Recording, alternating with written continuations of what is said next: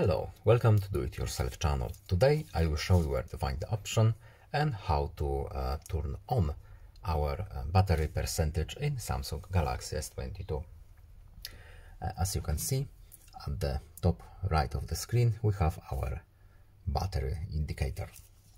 Uh, right now we have only our battery with no percentage visible. We can turn it on. How to do it? We need to go to settings then uh, notifications, next advanced settings, and here we have show battery percentage. When we turn it on, as you can see, our battery percentage uh, is now uh, visible. And that's it. Single single tap, nothing more. Just back out, don't need to save anything. And that's all. I hope this video was helpful to you. Please leave a like and subscribe. Have a nice day and see you in the next video. Goodbye.